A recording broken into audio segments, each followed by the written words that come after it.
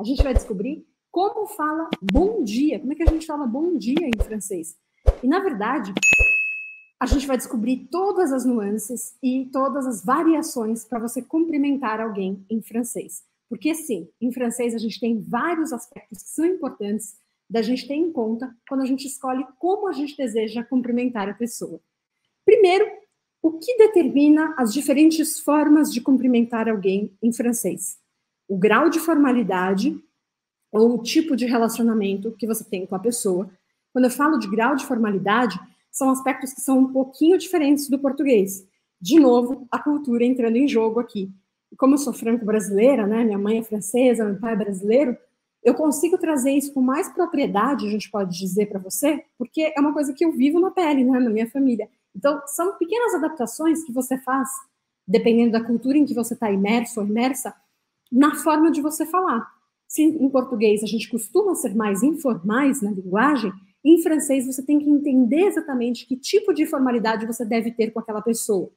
Porque se você errar, a gente pode falar, é, essa forma de falar com a pessoa, pode ser que você seja mal entendido ou mal entendida. Isso acontece muito com, por exemplo, turistas que vão para a França e depois ficam achando que os franceses eram mal educados. Você já ouviu falar disso? Bom, se você assistir a aula de hoje, você já vai estar tá super avançado e avançada nesse quesito, conseguindo escolher a forma mais correta, digamos. Então, o tipo de relacionamento também é um relacionamento íntimo ou não, isso já vai caminhando meio junto com o grau de formalidade. O momento do dia, claro, assim como em português. Em português, a gente tem três momentos bem definidos, né? Bom dia, boa tarde, boa noite, para cumprimentar. E você vai ver que em francês, na verdade, a gente tem só dois grandes momentos do dia, mas eu já vou te explicar isso.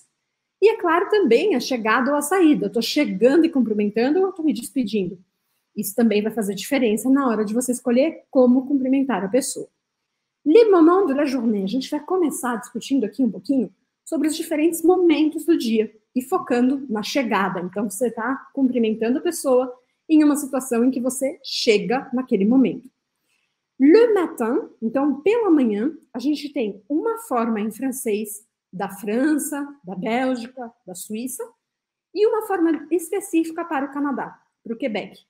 Vamos falar assim: se você está querendo ir morar no Quebec, no Canadá, o francês é a mesma língua em todos esses países, só que a gente tem algumas particularidades regionais, assim como existe isso em português também. Por exemplo, eu sempre uso esse exemplo, mas eu vou usar ele de novo.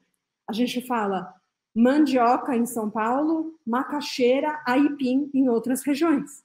Então, da mesma forma, existem algumas diferenças assim na língua francesa, dependendo do país, da região e da cultura.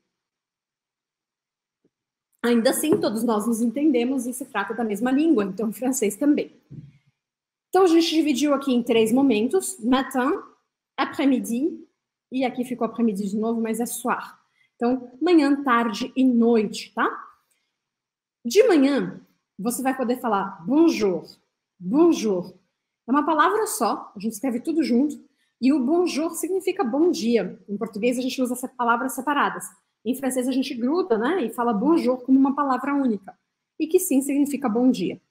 Mas no Canadá, a gente pode também dizer bon matin, bon matin.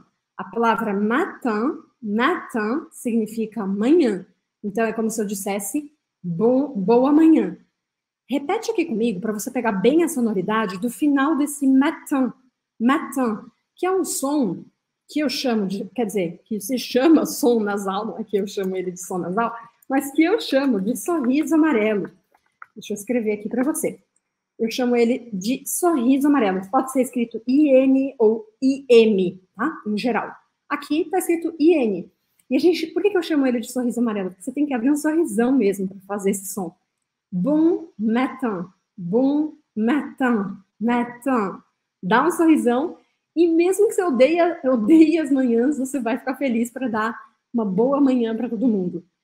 Cuidado, cuidado não, mas atenção, porque isso não é tão usado na França. Se você chegar e falar bon matin, não é que as pessoas não vão te entender, mas não é comum a gente dizer assim.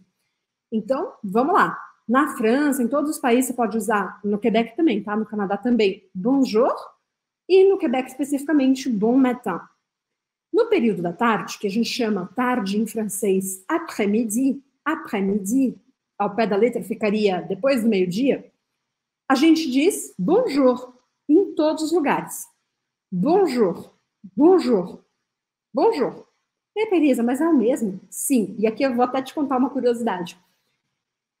Até pouco tempo atrás, quando eu falo pouco tempo atrás, é poucos anos mesmo, eu sempre falo, aliás, às vezes acho que eu até erro ainda isso. Eu sempre falo bom dia, bom dia, e as pessoas me corrigem boa tarde, porque para mim, é, como minha língua materna é o francês, eu acabo me confundindo e falo de uma única forma. Então, bonjour em francês, você vai usar durante todo o período do dia. Não importa se é, se é de manhã ou é à tarde. Tem luz do dia, você pode falar bonjour. Então, é uma ótima palavra para aprender, correto? Para você começar a usar. E também pode ser em qualquer país. Depois, aqui, como eu disse, ficou escrito après-midi, mas o último seria soir. Vou até escrever aqui para você escrever no seu caderno, que eu espero que você esteja colocando essas informações aí no caderno também. Espera aí que... Vamos lá, vou escrever soir aqui, para você ter essa palavra. Então, noite. A gente tem algumas palavras para falar noite, mas o período da noite antes da gente dormir, a gente chama de soir, soir. E aí a expressão é bonsoir, bonsoir. Você pode ver essa expressão escrita tudo junto ou separado. As duas formas existem e as duas formas são corretas. E também vai ser usado em todas as circunstâncias. Ponto de atenção para você. Vira e mexe, eu vejo as pessoas querendo usar o bonne nuit.